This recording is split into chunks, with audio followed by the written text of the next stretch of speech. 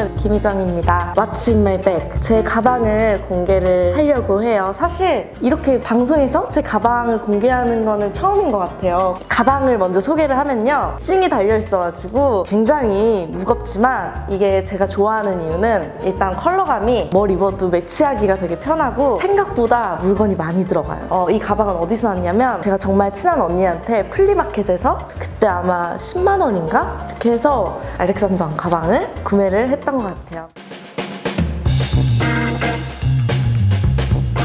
아, 일단 첫 번째로 제가 맨날 마시는 카페라떼가 들어있네요. 이거는 집으로 배달이 오는 커피예요. 제가 아직까지 커피의 세계 입문한 지 얼마 안 돼서 아메리카노를 못 마셔요. 애기 입맛이었어가지고 그래서 원래는 바닐라 라떼로 먼저 시작을 했다가 그 다음에 라떼 그 다음에 최근에는 이제 아메리카노까지 도전을 해보고자 아메리카노도 주문을 받고는 있어요. 아침마다 이렇게 나갈 때 가지고 나올 수 있는 그런 커피입니다. 그리고 파우더를 항상 가지고 다녀요. 너무 번들거리면 사진이 잘 안 나와요. 그래서 사진 만약에 찍는다 이러면은 찍기 전에 그냥 주변에 한번 두들겨주고 마스크. 네 요즘에 너무 중요하죠? 이게 뭘까요? 아 이거 좀 미리 예고편이긴 한데 뭘까요? 제가 요즘에 이스트팩이랑 콜라보를 준비를 하고 있습니다. 그래서 가방 디자인을 하고 있는데 거기에 이제 일러스트 초안이 드디어 어제 나왔어요. 너무 마음에 들어가지고 따로 받은 게 여기에 있네요. 나중에 한번 확인해 보세요. 이 마법 주머니의 이 정체는 뭘까요? 되게 무기 같죠? 이게 얼굴 마사지기예요. 아침에 약간 얼굴 부었을 때나 중요한 촬영 앞두고 있는데 시간이 없다 이럴 때 이게 참 도움이 꽤 되는 것 같아요. 하다 보면 어깨부터 얼굴을 정말 잘 풀어줍니다. 그리고 싸울 때도 좋을 것 같죠? 향수가 있네요. 제가 향을 되게 좋아해요. 사람들이 너 향수 뭐 써? 이러면 저는 향수 쓰는 게 한 스무 가지 정도 되는 것 같아요. 저는 한 향에 금방 질리는 편이어서 오늘은 어떤 기분에 아, 이것 뿌리고 갈까? 아니면 다음날은 아 오늘은 이것 뿌리고 갈까? 하면서 약간 attitude도 달라지고 그런 느낌이 들거든요. 저는 이 향은 제가 아마 처음으로 유럽 여행 갔을 때 파리에서 샀던 향수예요. 처음 맡았을 때 아 이거는 내 향으로 만들고 싶다? 그래서 지금 세 번째 쓰고 있는 것 같아요. 설명하면 약간 로즈를 베이스로 한 것 같은데 좀 달달하면서 조금 여성스러운 듯한 포근한 듯한 그런 느낌인 것 같아요. 항상 이 향을 맡으면 처음에 파리 갔을 때 그런 생각 들이 많이 나는 것 같아요. 저한테는 추억이 되게 담긴 그런 향수입니다. 인생향 이런 거 있잖아요. 뭐라고 하나를 정할 수가 없었는데 그래도 제일 내가 오래 쓰고 많이 썼던 게 뭐가 있을까 생각하면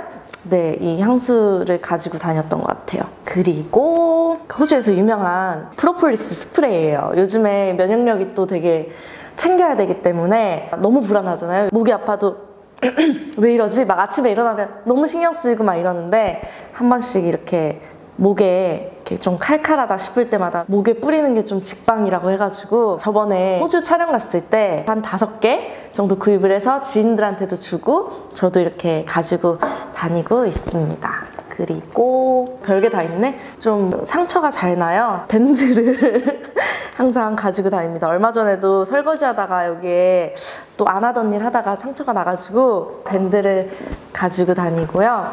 scheduler. 네, 저희 회사에서 나온 제 이름이 박힌 scheduler입니다.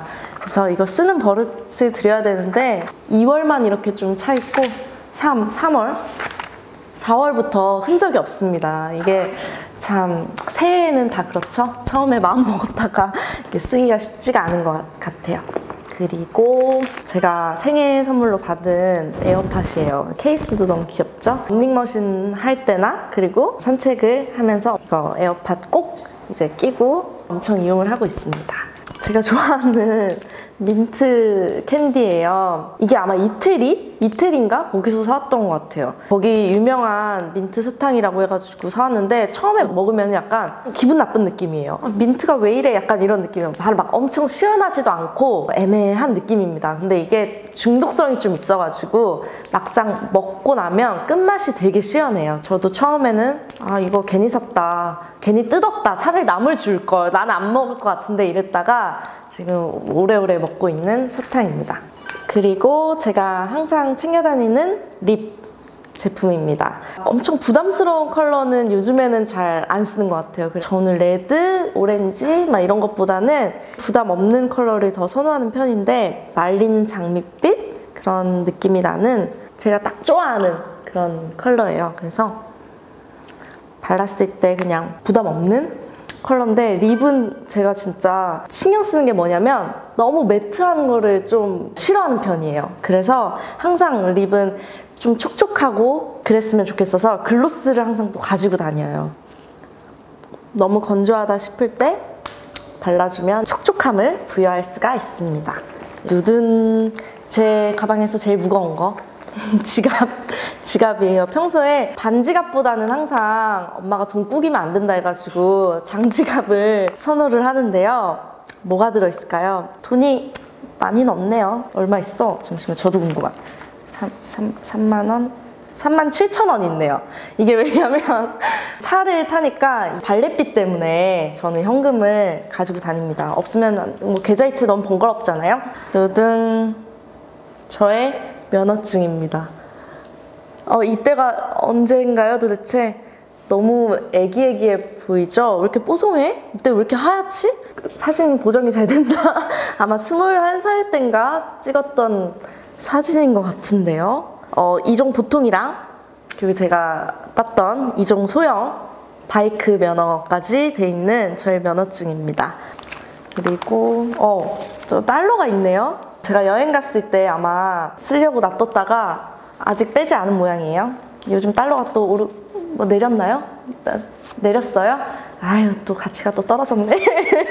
언제라도 여행을 갈 수 있는 준비가 되어 있죠. 아, 그 다음은 저의 쿠션. 이건 좀 자연스럽게 커버되는 타입이라서 운동 뭐 끝나거나 갑자기 또 약속이 생길 수 있으니까 가지고 다니는 쿠션입니다. 그리고 저의 필기구 세트입니다. 스무 살 때부터 썼던 노트예요. 사실 저희 어머니가 시인이시거든요. 저도 가끔 되게 감성적이어질 때나 좋은 영화를 보거나 막 이럴 때 저는 글들이 좀, 좀 막 쓰고 싶다는 생각이 들어요. 저도 모르게 자다가 일어나서도 글을 쓰고 약간 이렇게 했던 거를 모아둔 건데 저는 모든 사람이 그런 줄 알았어요. 아, 사람들이 다 이렇게 그렇지 않나 했는데 어떤 친구들은 또 그림이 그려진 친구도 있고 뭐 음악이 생각나는 친구도 있고 되게 다양하더라고요. 근데 저 같은 경우는 좋은 글이나 좋은 책에서 글귀 같은 걸 봤을 때 여기에다 기록을 해두는 편입니다. 아, 좀 오그라들기는 해요. 어, 2012년 부터 있네요. 9월 10일 이렇게 날짜를 다 적어 놓는데요. 그러니까 제가 좀 사랑 예찬자입니다. 오그라들긴 하지만 좀 진지한 얘기를 한다 하면은 사랑 얘기를 꼭 해요. 그래서 첫, 첫, 첫 번째 글이 아 이거 좀 오그라든다. 이렇게라고 써져 있네요. 2012년에 도대체 어우 어우 어떻게 와 아, 정말 저의 추억들이 다 있습니다. 제가 막 연기에 대한 생각들도 많이 쓰여져 있고요. 배우는 감정 느낌 중독자다. 끊임없이 느끼고 싶어 하는 이런 거에 대해서 써져 있고 그런 노트입니다. 저의 생각 노트고요. 저는 이런 글들을 언제든 지울 수 있게 다음날 지나면 너무 오그라든다 바로 지울 수 있게 연필로 쓰기 때문에 항상 샤프랑 지우개랑 샤프심도 많고요. 필통이 조금 웃기죠? 필통이 좀, 좀 어이가 없는 필통이긴 한데 친구들이 보고 이게 필통이야? 이러면서 비웃는데 네, 이게 제 필통이고요. 저의 노트입니다. 이렇게 해서 저의 가방에 아주 모든 것들을 탈탈 털어서 공개를 해드렸습니다. 별거 아닌 줄 알았는데 가방만 공개해도 벌써 저의 모든 걸 좀 약간 다 알려드린 듯한 그런 기분이 드는 것 같아요. 좀 더 저를 알 수 있는 그런 재밌는 콘텐츠로 또 찾아뵐게요. 다음 편에서 만나요.